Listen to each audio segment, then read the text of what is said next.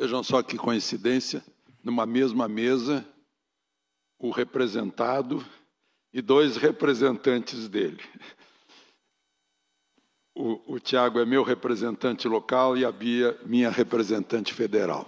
Isso é democracia. Eu passei uma procuração chamada voto para eles me representarem. E, e, eles sabem que, como representante, eu sou o mandante, eles são os mandatários e eu cobrarei. E é assim que funciona. É, eu estou muito feliz em estar aqui do modo como eu fui recebido. É, eu, como acho que humildade é a mais inteligente das virtudes, eu saí a procurar estacionamento por aí, não achei. Aí disse: Olha, eu vou tentar a garagem da Assembleia. Fui recebido pelos vigilantes na entrada como se estivessem me esperando já. Né? Me levaram até uma vaga, me condu... eu fui conduzido até aqui, aqui foram umas fotografias, e é a primeira vez que eu entro neste plenário. Eu já estive no plenário lá no fim da Zanorte, quando a Câmara Legislativa me entregou o título de cidadão de Brasília. Eh, eu tenho, esse ano completo 83 anos de idade, tenho 53 de jornalismo, 47 de Brasília. Quando eu recebi esse título, eh, houve um protesto contra a entrega do título, do deputado Luiz Estevão. Ele alegou que eu criticava os políticos de Brasília e, portanto, não poderia receber. Eu disse, Luiz, se for o caso, eu devolvo agora. Né? E a bancada do PT me defendeu. Né? Então, para dizer o seguinte, que a crítica é importante, né? as diferenças são importantes em democracia, mas, mas há algo acima disso, que é o país. O país está acima das nossas diferenças ideológicas, partidárias. Muita gente não considera isso. E o presidente Dutra chamava isso aqui de livrinho, ele pronunciava assim: isso aqui está acima de tudo. Está acima de qualquer ministro do Supremo, está acima do presidente da República, está acima do Congresso Nacional. Se quiserem mudar isso aqui, cláusulas pétreas, só uma Assembleia Nacional Constituinte. E na cláusula pétrea, o artigo 5 inciso 4 diz que a liberdade de expressão, vedado o anonimato, é plena. Artigo 220, que fala da liberdade de expressão em qualquer plataforma, tem um parágrafo segundo que diz que é vedado qualquer tipo de censura política, artística, uh, intelectual. Uh, então, a Constituição não permite isso que estão querendo fazer. Eu sei que dirão, ah, mas já passaram por cima da Constituição. Prenderam Daniel Silveira às 11 da noite. Né? É, Prenderam Daniel Silveira, que está garantido pelo artigo 53 da Constituição. Abriram um inquérito que não tem promotor público, como diz o artigo 129. Né?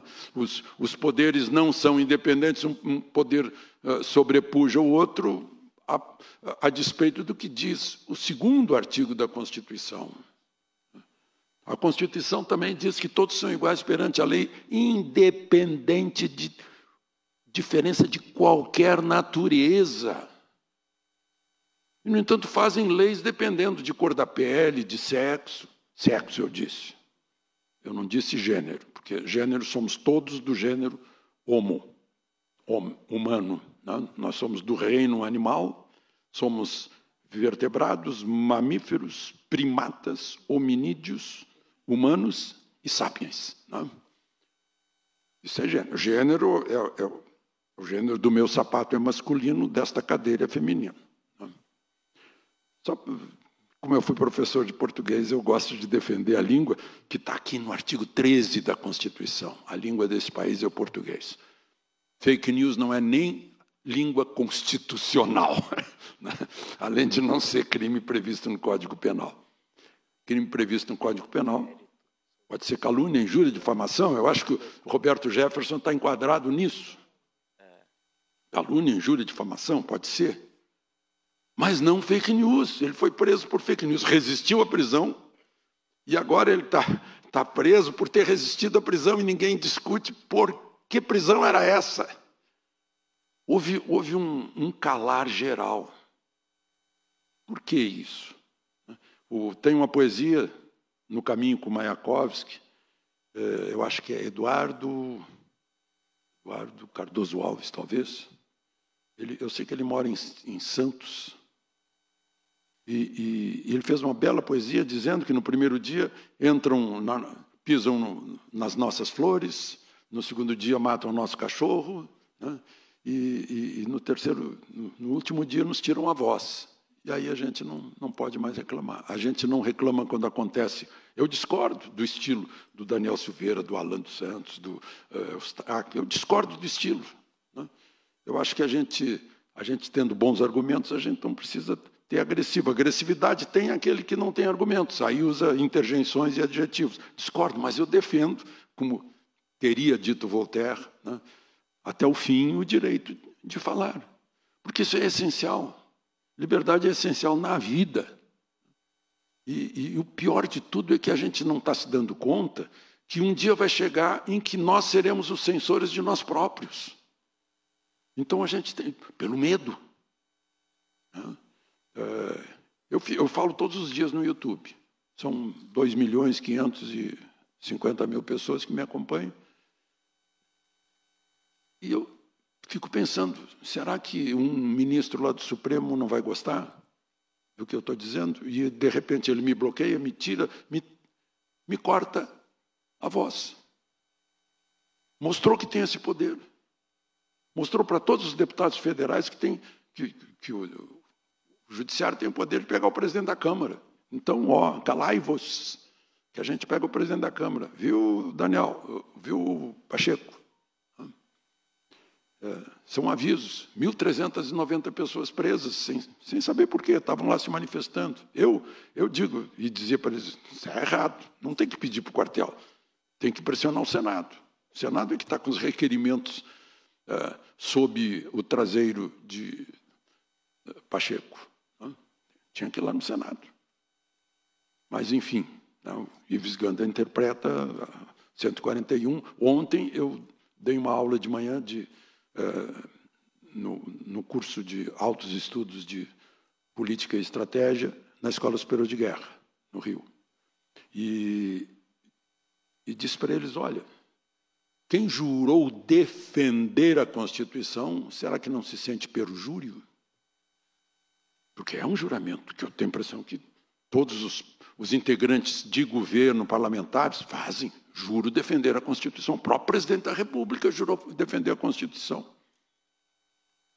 E num momento crucial que poderia ter defendido a Constituição, valeu o que ele aprendeu na academia, na ESAO, disciplina absoluta.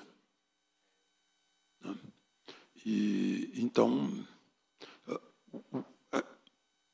não é de agora. O politicamente correto vem de longe, impondo censura. Estão censurando Monteiro Lobato. Né? É risível. Risível. É, dizendo o que nós podemos dizer. E certamente isso pressupõe o que nós podemos pensar. Eu acho incrível, eu sou um fã do. O primeiro livro dele eu li em 1966, eu fui à casa dele em Londres, a casa onde ele morou, George Orwell. Incrível como ele é profético. Só que a profecia dele, que era para ser. Eh, ele participou da Guerra Civil Espanhola, depois veio a União Soviética, ele, ele tinha sido esquerda, socialista, e percebeu que a ideologia, essa ideologia, tem uma natureza totalitária, não funciona se não for um regime totalitário. As cabeças que a gente ouviu são cabeças totalitárias. Além de negacionistas, eh, uma delas ali que eu vi, eu tenho testemunho de que é também é, acredita que a Terra é plana. Não, não é, não é brincadeira. A pessoa ficou na ponta dos pés no bairro de Miraflores, em Lima, para ver se enxergava a China. Portanto, acredita que a Terra é plana. É da natureza. Então, essa natureza totalitária vem de longe. E, e, e, e, nosso espírito colonial também. Tudo que é feito nos Estados Unidos, a gente repete por aqui. O politicamente correto começou lá. O nome fake news, gente, no meu tempo, o nome disso era boato.